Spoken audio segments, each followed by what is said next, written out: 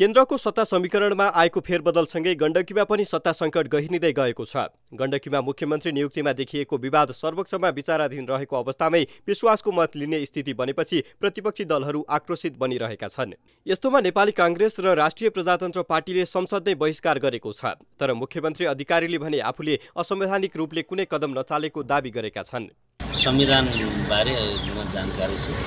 संविधानको व्यवस्था अनुसार मैले उपयुक्त लिन्छु तपाईँलाई थाहा हुन्छ म यति विश्वास गण्डकीमा सत्ता सङ्कट गहिरिँदै गर्दा सभामुखको समेत हस्ताक्षर प्रयोग गरिएको भन्दै काङ्ग्रेस सर्वोच्च पुगेको छ। गण्डकीका प्रदेश प्रमुखले सभामुखको हस्ताक्षरलाई मान्यता दिँदै मुख्यमन्त्री नियुक्त गरेपछि काङ्ग्रेसले प्रदेश प्रमुखमाथि समेत आक्रोश पोखिरहेको छ। काङ्ग्रेसले गण्डकी र सुदूरपश्चिममा प्रदेश प्रमुखको भूमिकामाथि गम्भीर प्रश्न उठाएको छ। प्रदेश प्रमुखहरूबाट आफूलाई हुँदै नभएको अधिकार प्रयोग गरी संविधानको मर्म र भावनाको उल्लङ्घन तथा सर्वोच्च अदालतको आदेशको अवज्ञा गर्ने रवैयाप्रति नेपाली काङ्ग्रेस घोर आपत्ति प्रकट गर्दछ।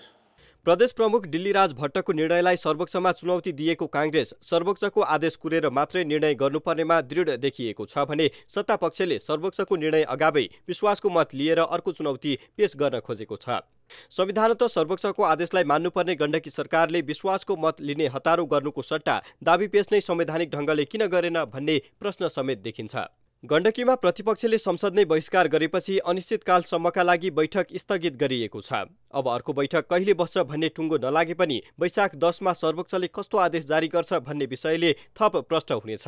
सर्वोच्चले दस गते फैसला नगरे गण्डकीमा थप राजनीतिक सङ्कट भने देखा पर्नेछ। न्युज ट्वेन्टी फोर टेलिभिजनका लागि कास्कीबाट टिभी जर्नलिस्ट सुमन ढुङ्गानाको सहयोगमा ब्युरो रिपोर्ट।